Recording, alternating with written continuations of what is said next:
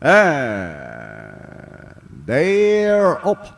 All in front is second by Buwayang Bato, rushing up now by nobody outside success of times. And as they settle now, success of times uh, takes up the running, leads by some two lengths. Uh, success of times followed now by real equity and down in third uh, is H.E. Holly, but still a success.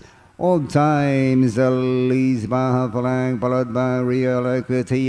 Buwayang Bato in third, down in fourth, H.E. Holly, Don Lucas. One moving forward now is Bohemian, and followed by Mucho Caliente. Five lengths away to medal strength, and I'll be there. And as they raise the last 600 real equity, leads by a length, Buwayang Bato, nobody outside, Bohemian, on a father outside. And as they raise the last 300 matching stride now of Bohemian, and runabout is Buwayang Bato, Buwayang Bato. This time leads by Zan three lengths, followed by Bohemian. And moving up now is Don Lucas, still Buwayang Bato and Don Lucas in the middle. Bohemian Holly is now Don Lucas, Bohemian, and finally is Don Lucas.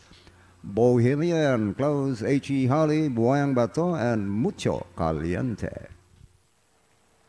All right, crossing the mark first. Number 7, Don Lucas. Then Danny John Allison Pabilik. Then masisigundo yung Bohemian. Dikit tayo sa tercero between 3 and 4. Buwayang Bato and H.E. Hali. Panoorin na natin instant replay.